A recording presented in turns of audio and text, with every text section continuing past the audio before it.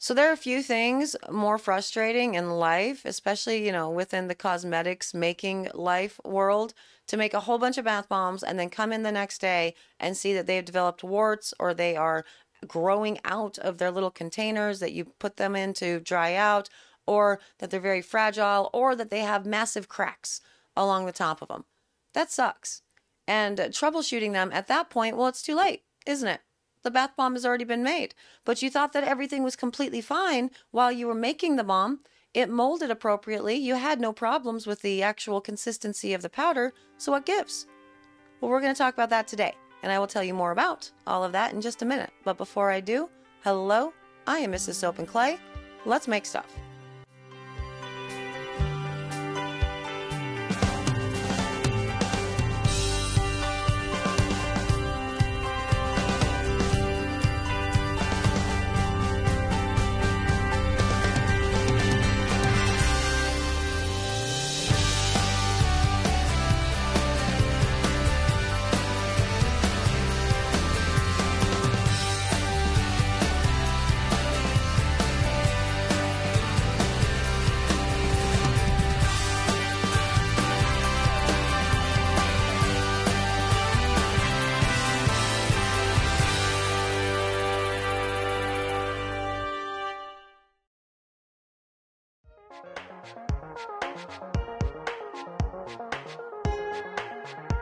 How's it going, Sudsers? Welcome back to the channel. You are at Soap and Clay, where we make all the soapy things, and you're here for week 26 of year 3 and video number 4 in the Back to Basics Bath Bomb playlist, which will consist of 8 parts for sure.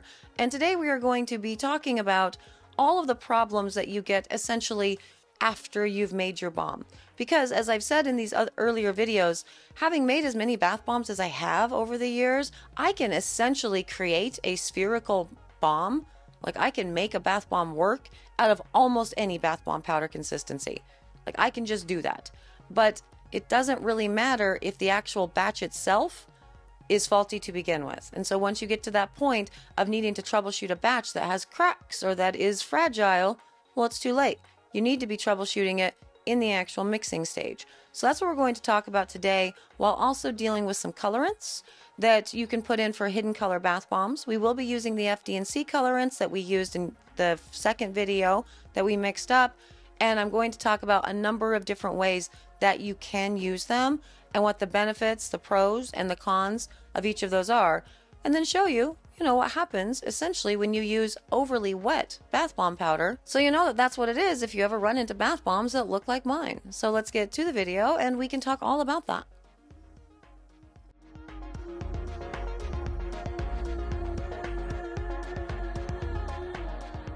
Okay, so troubleshooting bath bombs. And since the name of the game for this entire playlist is uh, teaching you to crawl before you can walk so you can run, we're going to troubleshoot the bath bombs at the place where it makes the most sense within the actual mix before you add the citric acid. So the moisture content is the name of the game with all of this. If a bath bomb mixture is too dry, the end result of the bath bomb, while you can still theoretically form it into a sphere or put it in a mold, it will be crumbly, it will be fragile, and it will essentially fail in shipping.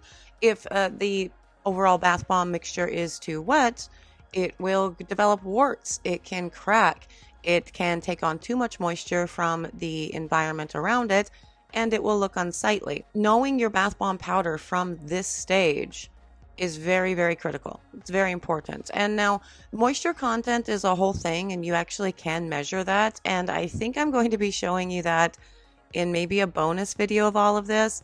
I haven't quite decided if I'm going to do that members only or one for the channel because it's kind of weird, but you can actually measure the moisture content of your bath bomb powder, and uh, that will give you a good idea and an indication as to whether or not you know it's the right wetness essentially. That's not something that's super needed though. You don't need to get that scientific because bath bomb making is not really scientific. It's not a precise science. I mean obviously the chemical reaction between baking soda and citric acid this is a very basic chemical reaction, and that's, you know, science. But the precision with which you make a bath bomb, there's a lot of factors, and those factors do include, you know, the humidity of your environment as well as the moisture within your bath bombs themselves. And so, learning how your bath bomb powder feels right now before you put the citric acid in is going to be a big, important thing in order to ensure that you have really good bath bombs consistently 100% of the time. Now, with this, I am creating bath bomb powder that is overly wet, and I'm doing that to show you what it looks like at the end. I want to show you some cracked bombs, I want to show you some potential separation, all of the things. But if you are seeing at this stage that your bath bomb powder is a little bit too wet before you've put the citric acid in, there are a number of things that you can do. You can add more baking soda to the batch and dry it out. You can add cornstarch or arrowroot or kaolin clay to the batch to dry it out. You can also add witch hazel. Now, in the last video and last couple of videos, I actually talked about witch hazel. Witch hazel is not a good binder because, well, A, the pH is very, very similar to the citric acid. And so the citric acid itself is more readily dissolvable within the uh, witch hazel and water. So there's that. But two, it is an astringent. It is meant to dry things out. And so, as a binder, if the whole goal is you want to create a nice crust around your bath bombs to ensure they're nice and firm, while sometimes it will work depending on your humidity levels in your environments, other times it won't. And because of that inconsistency, it is not a good thing to use as a binder, but it is a great thing to use as, you know, a drying agent for your bath bombs. Absolutely. So that's something to definitely keep in mind at this stage before you've put in the citric acid. If you notice that your actual bath bomb powder is too moist, put some witch hazel in before you put that citric acid in. Mix it around. Let it sit for like 30 seconds and watch it dry out. It's totally a thing. Now, how do you know if it's too wet? Really, that's how you know. See, it's holding its shape a bit too much. If you can take this bath bomb powder and just kind of roll it up into like a golf ball sized, you know, ball in your hand at this stage before you put the citric acid in, it's a little bit too damp. You should definitely work on drying that out. Now, for drying it out for this particular recipe, because all this is is two cups baking soda, one cup citric acid that is now in, right? and uh, the one tablespoon of the scent, the one tablespoon of the oil, and one, well, a lot of water because we used the FD&C colorants that were dispersed in water. Uh, adding some dry ingredients like a cornstarch or an arrowroot or more baking soda, up to about a half a cup or so, would be a really good starting point to ensure that these bombs are dried out and also have extra benefits.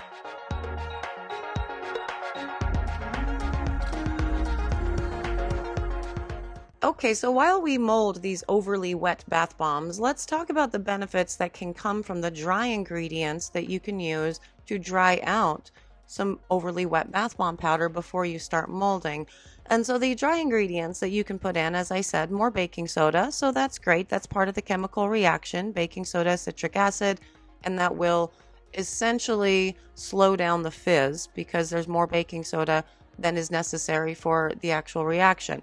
Cool uh, arrowroot and cornstarch. Cornstarch seems to get a bad bad rap because it's considered filler. Like that's what people say. And uh, technically, like chemically speaking, that is true. Everything outside of the baking soda and the citric acid is a filler in a bath bomb because baking soda and citric acid, when hit with water, it creates fizzy liftoff. So chemically, everything else is filler. So your essential oils, your fragrance oils, your butters, your nourishing oils, any sort of other dry ingredient that you put in it. It's all filler. I think it's probably important to not use filler as a bad connotation, like a bad thing, because the filler is where we get our awesomeness within our bath bomb products. That's how we change it from just a chemical reaction, just fizzy liftoff, to something that's nourishing for the skin, to something that's enjoyable or pretty or whatever. And so, yeah, technically filler, but a beneficial filler. And so for the dry ingredients like cornstarch and arrowroot powder and kaolin clay, they actually serve two purposes. One, it's going to dry out an overly wet batch of bath bomb powder, which we have discussed. So that's good. Two, because of the drying effects of that, it's going to also kind of stave off the bath bombs themselves absorbing too much moisture while they are firming up, while they are drying out in their spherical form. So, definitely a good thing as far as that goes. arrowroot powder and cornstarch, as far as applications on the skin, both very similar, you know, skin soothing, all of that jazz. And so, for a skin perspective, almost identical. Uh, kaolin clay, it's similar as well. Uh, overall, cornstarch does have the heaviest weight. Uh, arrowroot and kaolin are almost identical as far as their particle size. So they're going to be very similar as far as the potential to weigh it down is going to be less. Cornstarch can weigh your bomb down a little bit more, but it also is an easy option to put in if you are looking at, you know, overall drying out the bath bomb and ensuring it's not going to take on any amount of water, uh, not only during the initial, you know, 12 to 24 hours while it's drying out after you've molded the bath bombs, but additionally while they're being stored. Now, that's an important thing to keep in mind. I have received so many bath bombs from people over the years where they probably thought these bath bombs were great when they first made them, but because they don't have these fillers inside of them to make sure that the bar the bombs stay hard and stay firm, they've taken on too much moisture and they can end up easily dentable. And I think I will show you some of my bath bombs that I have done that do not contain either an arrowroot or a cornstarch or a kaolin clay that have also taken on too much moisture from the environment, as well as ones that are several years old that are still rock hard. So I will be showing you that at some point within this playlist too. But yeah, the dry ingredients do have benefits outside of just making sure that the bath bomb powder itself during the make is going to be easy to work with and you're not going to end up with bombs that have warts or that have sagged over their, you know, their cradles while they are drying because they're too heavy because they're too wet. Another benefit of putting in an arrowroot or a cornstarch or a kaolin clay is that because it is a filler within the chemical process, it's slowing down the actual, you know, fizz of the bath bomb for the baking soda and the citric acid because there's something in there that that chemical reaction sort of has to contend with and work around. So it yields a bath bomb that actually lasts longer as far as the fizz goes. And so that is another benefit as far as end user and performance goes for sure. So the dry ingredients themselves, yeah, maybe filler, but good filler. This is something that is going to be a benefit for your end user as well as for your makeability and ensuring that you don't have an overly wet batch of bath bomb powder.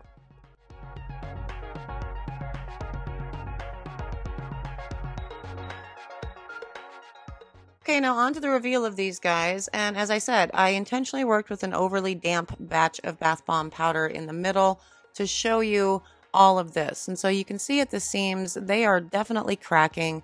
We definitely have some cracks that are forming uh, along the, the seam, certainly where the bath bomb powder that was overly wet was, you know, placed but along the tops of some of these bath bombs as well, as you can see there.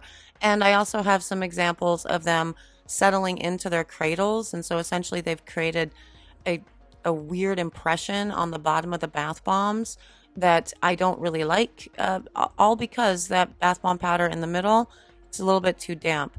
Uh, technically speaking, because the water was in this, uh, they're fine. They're going to survive shipping. The fizzy liftoff is still going to be great.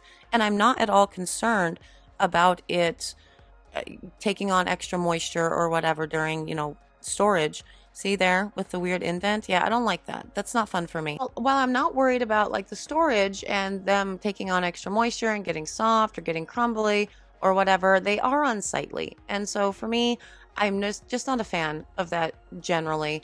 And I would prefer to be working with a bath bomb mixture that is drier, certainly, but not so dry that we're going to end up with you know, bath bombs that are crumbling and whatever right out of the gate. I've already shown you multiple examples of them being crumbly in the first few videos, so we're not going to continue to, you know, go through that. But this particular thing with painting the the stuff on top, I am just still using these FD&C colorants that I bloomed in water. There's nothing else in them. I would never normally do this. This is not how I paint my bombs. Usually I use a slurry with micas and glycerin and a little bit of rubbing alcohol. The rubbing alcohol, again, it's drying like the witch hazel. So it's going to impede the ability or the fizzy that you're going to see with just using a water on top of an already formed bomb or, you know, a bath bomb that already has citric acid in it at any stage. But I want to make sure that we know what we're looking at and working with for all of the tests that we're going to do. And since so many of these are white, I just want to make sure that we are aware, you know, that this is a, uh, the bomb that had the extra moisture inside. But you can see, but just using water on that, yeah, see how it bubbles? That's not fun. And that will continue to bubble until it runs out of baking soda and citric acid to interact with. And then it will stop and it'll end up really weird and dry looking. And so, not a lot of fun. But if you're going to be painting colors on, again, I do recommend using, you know, glycerin and rubbing alcohol as a slurry. Uh, the viscosity will help. That's what the glycerin is for, good viscosity. And the rubbing alcohol, again, to ensure that it's not getting all bubbly and strange like that. It dries out that chemical reaction as quickly as possible. So there's that. Again, this is this this is just so we know what the all the bombs are when we go to test them. So yeah, uh, overall, wet bath bomb batches, they are not a lot of fun. In both cases, overly dry or overly wet bath bomb powder when you are working. Instances come with headaches when you're trying to mold the bath bombs, certainly, and heartaches the next day when you walk in. Something that you managed to get into a spherical form has problems. And so, really getting again, this is the crawling stage and learning what the bath bomb ratio should be, what the moisture content should be within your bath bomb powder. Getting to know that before you move on to the molding stage is going to really get you consistent bath bomb results 100% of the time. And that's when you can start walking and that's when you can start running. And that's when we start doing tips about how to make your bath bombs float or spin or do all the cool stuff because none of those things are going to work until you understand the actual moisture content and the importance of that in the actual mix of the bath bomb before you start molding. And yeah, my counter has just it's going through it throughout this series, you know? And there it is. As you can see, a lot of cracking going on at the top of those bombs as well as the seams. Uh, structurally, they're fine. The integrity is fine. It's going to be able to ship. The fizz is still going to be great. I'm not at all worried about these bath bombs sitting out in open air and getting soft or fragile or drying out and losing their potency because the crust has been formed, everything is good, but that crack, it's unsightly. It's not a good aesthetic. And so, in order to eliminate those, yeah, you're dealing with an overly wet batch of bath bomb powder. So, my recommendations would be adding a little bit of witch hazel, adding a little bit of rubbing alcohol, or adding some of your dry ingredients, be it a cornstarch, an arrowroot powder, a kaolin clay, more baking soda. All of these things will help dry out your bath bomb batch so you don't end up with that. Again, a good rule of thumb, as I've been showing you in the video, if you can just kind of clump it and it stays kind of together in two or three pretty big clumps, if you start bouncing it around, it mostly stays intact. But if you can take your bath bomb powder and just easily roll it up into like a golf ball size, you know, shape, sphere, it's probably too wet. You probably need to dry it out a little bit before you put the citric acid in, before you put before you start molding. So there's that. For the rest of this video series, we will be more into the walking phase. And so we are going to be talking about substitutions instead of water. We are going to be talking about extra add ons in your bath bombs to prolong the fizz, to make the fizz more impactful, to color the bombs in different ways if you're not interested in using FD&Cs, to create foam or extra bubbles, all of the things. We're going to get into the walking stage. But these four videos should give you a lot of really good examples of what to look for when things are going wrong. And I apologize. I was unable to get any sort of warts or expanding bath bombs because I don't experience that anymore. That's not something that happens, and I couldn't make, I couldn't force any of that to occur with all of these. But you know, maybe in the ones following this, we'll be able to do that. If you're interested in seeing if we are able to do that and how to troubleshoot all of those, although I've already told you how to do that, you know, subscribe, like the video, all of the things. Comment below for sure. If there's anything that you specifically want me to focus on, since we are doing this in real time, definitely leave the comments below and I can make sure to address it in an upcoming video. Thank you so much for being here, for joining me. I'm speaking directly to the Sudsers right now. You guys are amazing. Thank you. I'm going to go. Um, I filmed all four of these videos at the exact same time and I successfully managed to get through without losing my voice, but I'm starting to get that tickle, you know, right back there. It's not fun for me. So I'm going to go get some tea. But I will see you guys all again tomorrow for another round of uh, Back to Basics Bath Bomb playlist. Soapy, bath bomby fun. Bye.